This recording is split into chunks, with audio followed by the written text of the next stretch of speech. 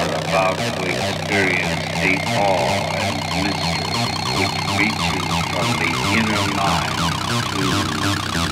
to the outer limits.